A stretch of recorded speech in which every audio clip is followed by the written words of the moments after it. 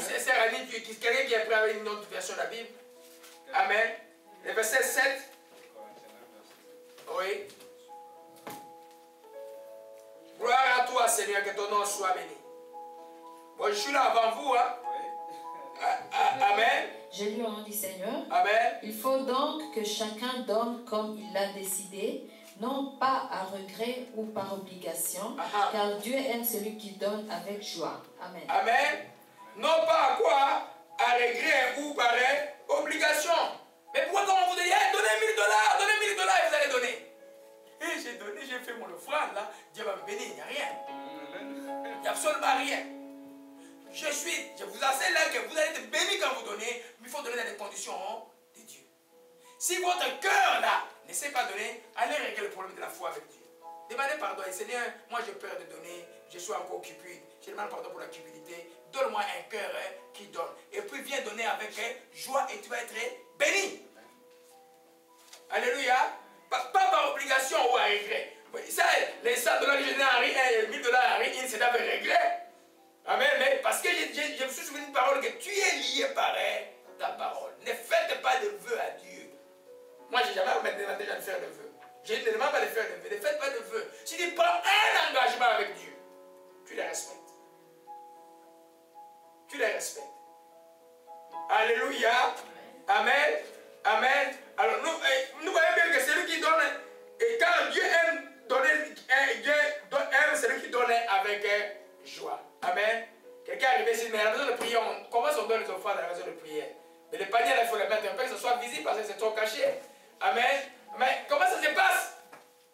C'est volontairement quand vous louez Dieu qui vient pour honorer Dieu. Le texte de Proverbe dit que oh,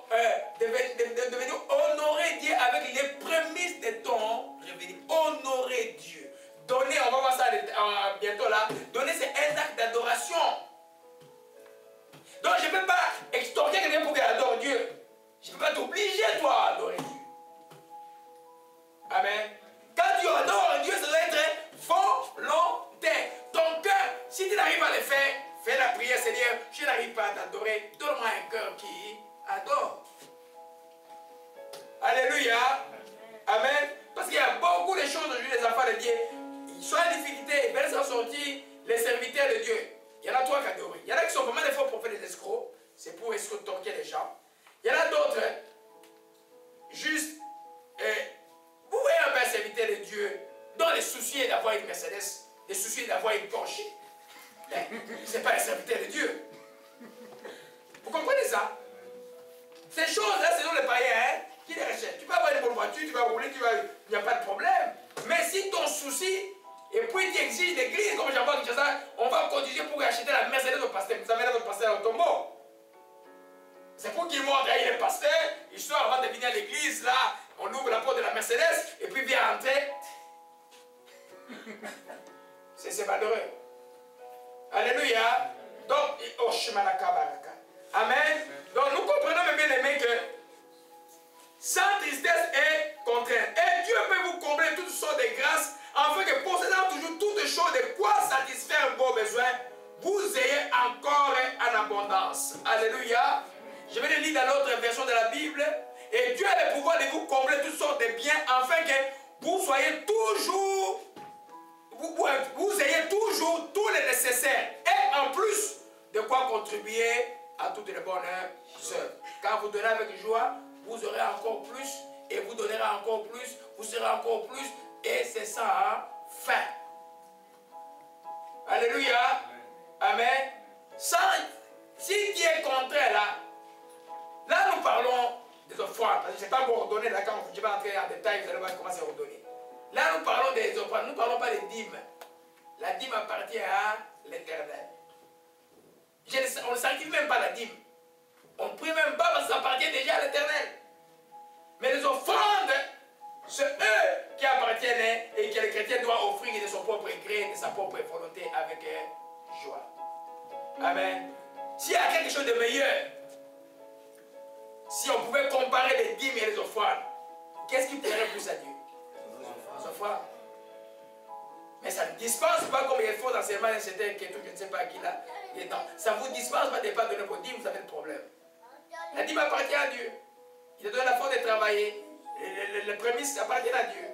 Mais l'offrande, c'est toi qui dis, ah, moi, mon Dieu, je vais offrir. Parce que, vous voyez, dimanche je vais entrer en détail.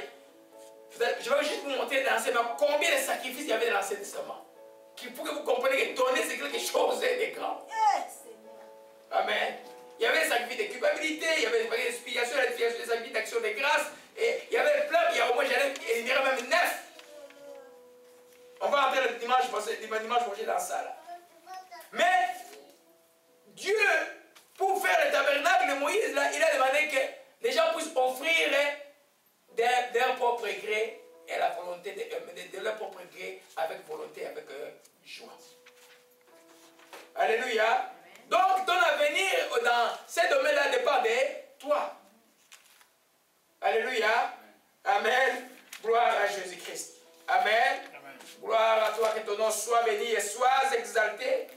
Amen. Alors, nous voyons que au, verset 11, et Corinthiens verset 11, Amen. Vous serez de la sorte enrichis à tout égard par toute espèce de libéralité qui, par notre moyen, feront offrir à Dieu des actions de grâce. Alléluia. Amen. J'ai en français pour il vous rendra suffisamment riche en tout temps pour que vous puissiez sans cesse vous montrer généreux. On est riche pour devenir généreux. Pas pour eux. Si quand Dieu te donne, c'est pour les autres. Plus tu vas accorder, c'est pour faire les bonnes œuvres. pourquoi? Parce que quand il fait les bonnes œuvres, les gens vont rendre grâce à Dieu et Dieu est content. Il n'y a pas quelque chose que nous pouvons remettre de plus à Dieu que de pouvoir le rendre grâce. Alléluia. Amen. Amen. Je coupe beaucoup de choses parce que quand on va entrer en détail, euh, dimanche, je vais revenir un peu d'une manière structurée. Alléluia. Alléluia. Donc, et le chrétien doit donner parce qu'il y a plus de joie à donner qu'à recevoir. Hein? J'espère que ce n'est pas un slogan. Amen. Il y a plus de joie à donner qu'à recevoir. Il y en a qui vont donner les cadeaux, les cadeaux.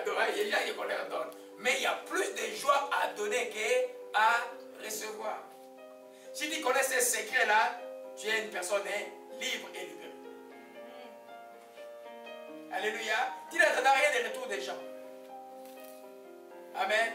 Si cela arrive, tant mieux. Mais toi, tu sais que moi, j'ai été créé à l'image, j'ai été créé par Dieu pour pouvoir être une, une bénédiction pour quelqu'un. Je vais donner.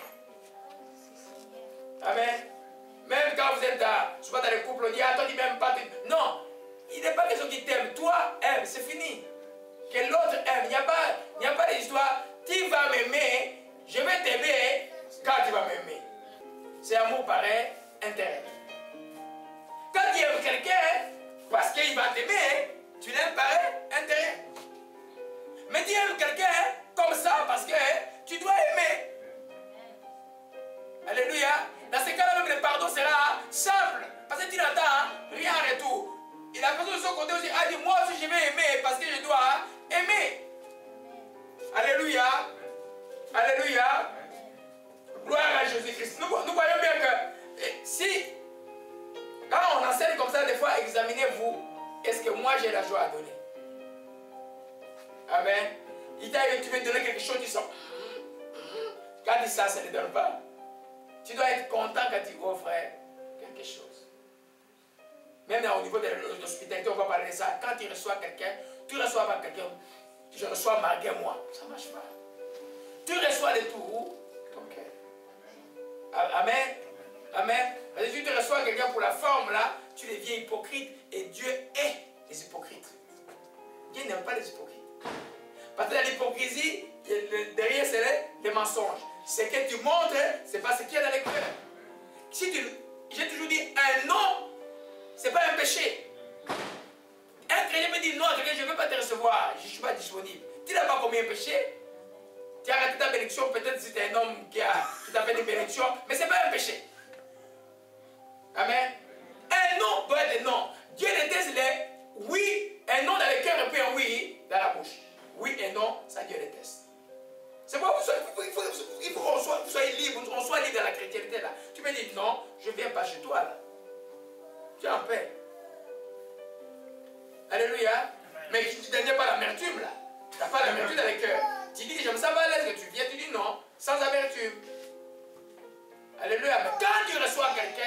quand tu offres quelque chose à quelqu'un, il faut toujours l'offrir de bon cœur.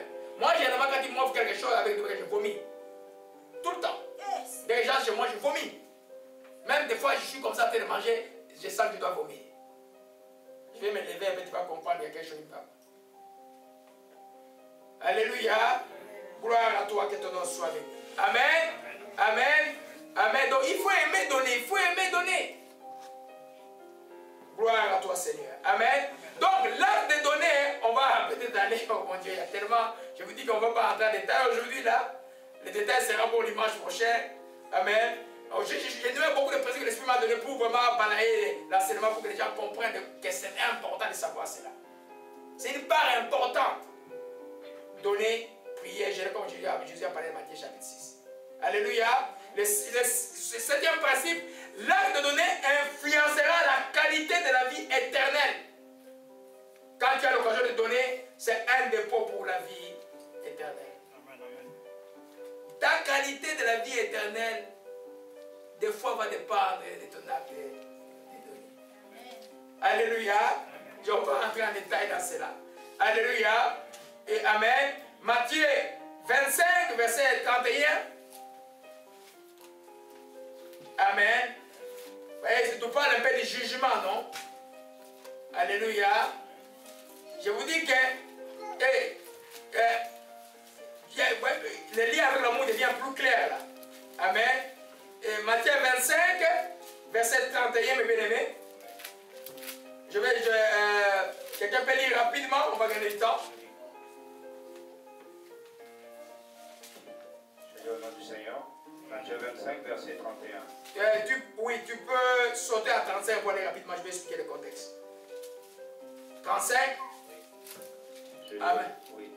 J'ai eu faim et vous m'avez donné à manger.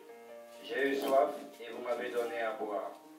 J'étais étranger et vous m'avez accueilli chez vous. J'étais nu et vous m'avez habillé. J'étais malade et vous avez pris soin de moi. J'étais en prison et vous êtes venus me voir. Ceux qui ont fait la volonté de Dieu lui répondront alors. Seigneur, quand avons-nous vu affamé et t'avons-nous donné à manger? Ou assoiffé et t'avons-nous donné à boire? Quand avons-nous vu étranger et t'avons-nous accueilli chez nous? Ou nu et t'avons-nous habillé Quand avons-nous vu malade ou en prison et sommes-nous allés te voir? Le roi leur répondra. Je vous le déclare, c'est la vérité. Toutes les fois que vous l'avez fait à l'un de ces plus petits de mes frères, c'est à moi que vous l'avez fait. Amen.